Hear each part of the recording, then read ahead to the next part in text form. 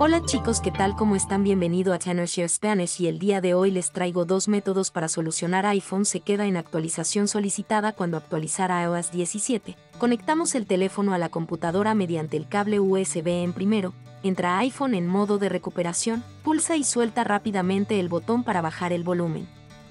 Luego, mantén pulsado el botón lateral hasta que veas la pantalla del modo de recuperación.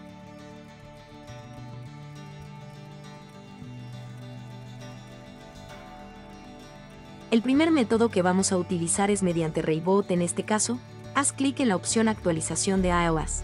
Va a iniciar la descarga de la versión más reciente de iOS 17 para realizar la respectiva actualización al mismo tiempo actualizar iOS 17 ya cuando termine lo que viene siendo la reparación luego de tener acceso al dispositivo podemos verificar de que efectivamente después de la configuración en lo que viene siendo los ajustes del iPhone general y de software vamos a estar en la última versión de iOS 17 súper fácil y súper sencillo y toda la información la tiene en la descripción.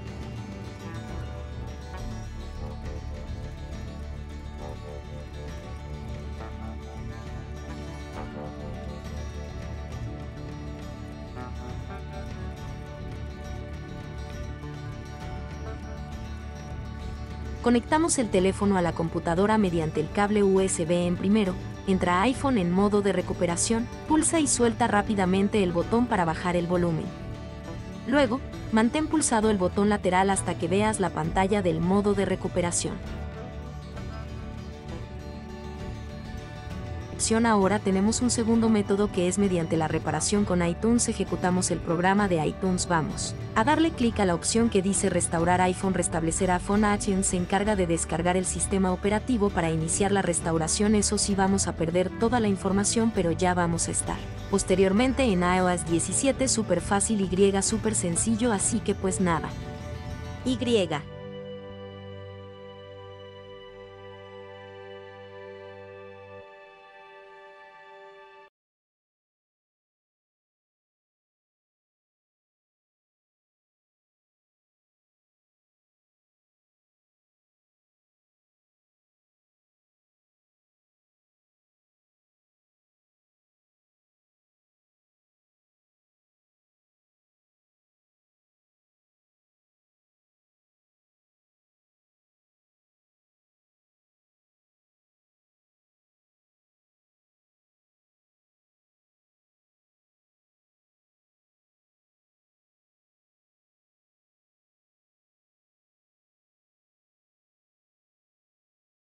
O espero que les haya gustado y de ser así no olviden apoyarnos con un like o me gusta muchas gracias y hasta pronto.